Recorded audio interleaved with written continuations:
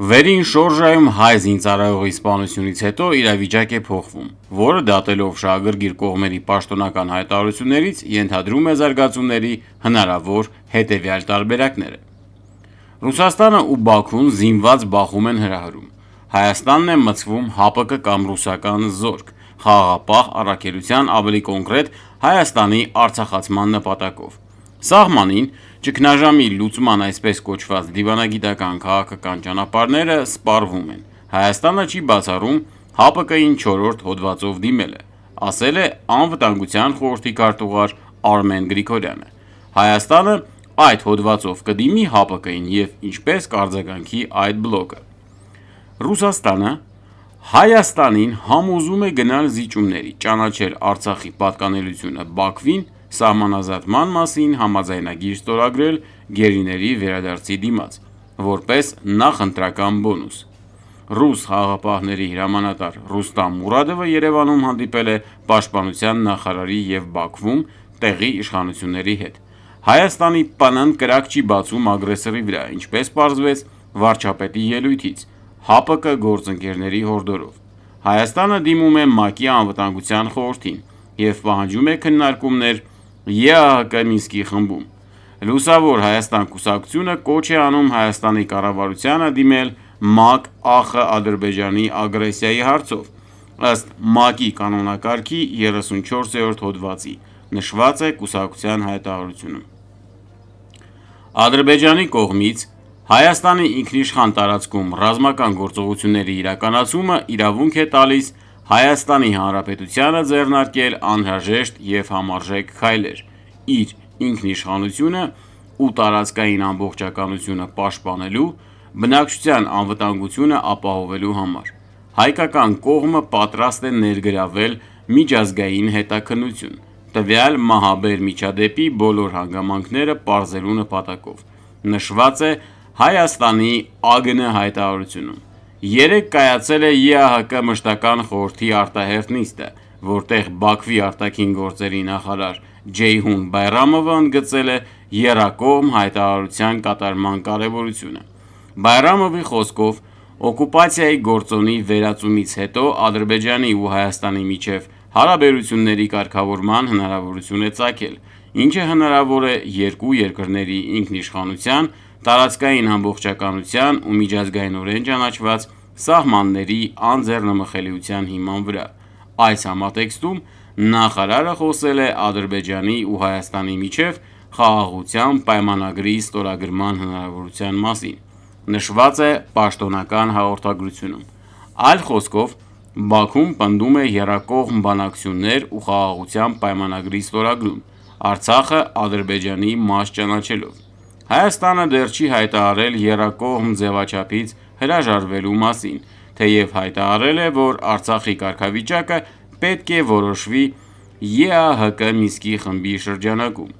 Համոզել Ալիևին ճանաչել Արցախի կարգավիճակը Խաղաղության պայմանագրի ստորագրման ու Նախիջևանի բացման դիմաց: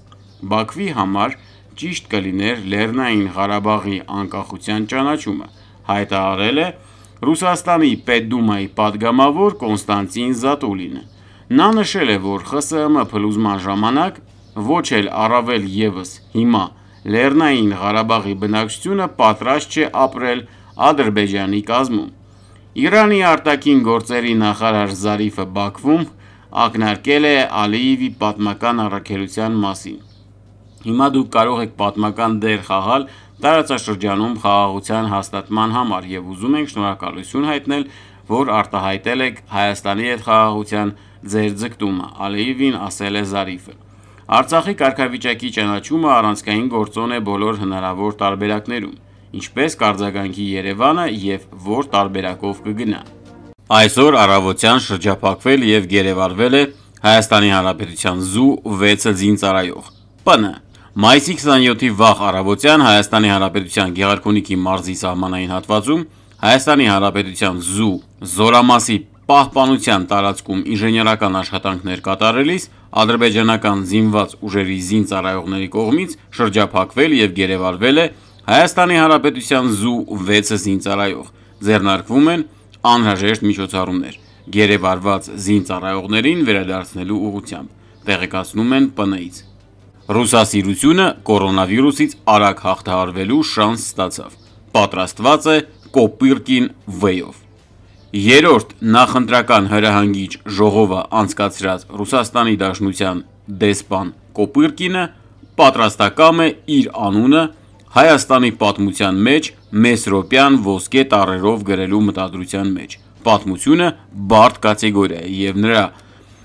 արարումը տանում է ի վերինն դեսպանատուն: Բայց մենք ի զորու ենք մեր նվաստներիս արժանի մատուցել այս մարդուն՝ հայերին ավելորդ ռուսասիրությունից ազատելու համար: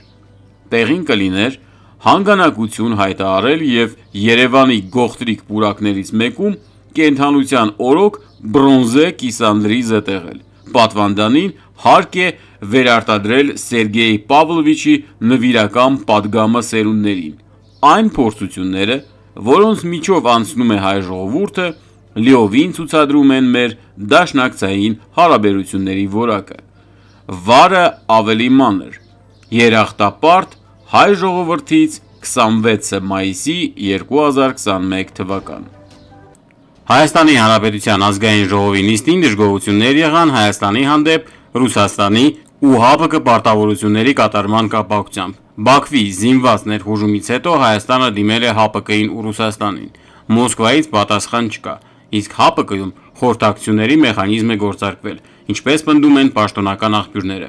ԱԺ նախագահ Արարատ Միրզոյանը ասել է, թե չեմ կարծում, որ Հայաստանի դաշնակից պետությունները չեն կատարում կամ կատարելու իրենց պարտականությունները: Օրինակ, ՀԱՊԿ-ն դեռ ունի ընթացակարգեր, ինստիտուտներ, մեխանիզմներ նաև, նաև ՌԴ հետ մեր երկխոսությունը շարունակվում է, ավելացնելով, թե պետք է համբերատար ու լավատես լինել: Դիմելը իհարկե պետք էր, հանրության բավականին լայն շերտերի մոտ կաղապարները ու պատրանքները ցրելու, եթեների տեղ չթողնելու համար: Քաղաքականության մեջ որքան եթեները քիչ, այնքան լավ՝ կողմնորոշվելու և սեփական անելիքը ծրագրելու համար: Այս առումով ՀԱՊԿ-ին Հայաստանի դիմելու արձագանքները անգնահատելի նյութ են: Դրանցից պետք է առանձնացնել երկուսը: Վերջին շրջանում հայ-ադրբեջանական սահմանին ծագած սրածումը պահանջում է ձեռնարկել հրատապ միջոցներ: Նախ՝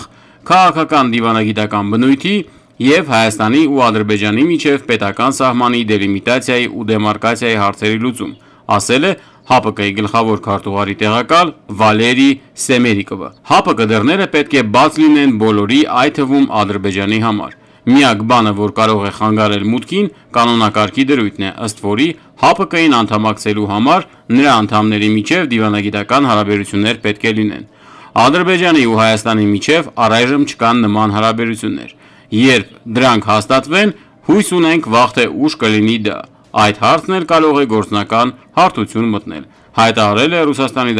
ԱԳ փոխնախարար Սերգեյ Ռուդենկոն: Կրկին. ՀԱՊԿ պայմանագրային պարտավորությունների խնդիրը պայմանավորվում է Բաքվի գործոնով, որը կարող է լուծվել Հայաստանին Մոսկվա-Բաքու ծրագրերի պարտադրման միջոցով: Ռուդենկոյի խոսքը ակնհայտորեն ուղղված է նաև Ռուսաստանի ներքին այն շրջանակներին, որոնք հարցադրումներ են անում Կովկասում Ռուսաստանի քաղաքականության կապակցությամբ: Դրանք վերաբերում են Ռուսաստանի կրած իմիջային խոշոր կորուստներին, ռուսական սպառազինության պարտության և դաշնակիցներին հանձնելու հանգամանքներին: Դրա հետևանքները իրենց արդեն զգացնել են տալիս: Այդ ամենը արվում է Բաքվին ՀԱՊԿ մտցնելու համար: Մոտավորապես սա է Ռուդենկոյի պատասխանը այդ մեղադրանքներին: Մի բանում բոլորը ճիշտ են, երկիրը պետք է կարողանա պաշտպանել իրեն: Բացի այդ, Հայաստանի շահերի լուրջ միջազգային աննախադեպ արձագանքները ռուս-թուրքական կաղապարից դուրս քաղաքական դերակատարություն ստանձնելու և անվտանգային և այլ խնդիրները լուծելու հնարավորություն են: Ռուսաստանը բացառել է հայկական զինված դիմադրությունը և միջազգային ատյաններին դիմել է: Իշխող ռուսամետ խումբը և քաղաքական դասի ռուսանպաստ հատվածը, որոնց շուրջ Մոսկվան կազմակերպել է երկբևեռ ընտրությունը Հայաստանի ինքնիշխանության մնացորդները վերացնելու և երկիրը ներսից լիարժեք քանդելու համար, առայժմ ծառայում են այդ նպատակներին: Խոսքը այն ուժերինն է ու հանրության գերակշիռ հատվածինը, ովքեր մերժում են այս ծրագրերը: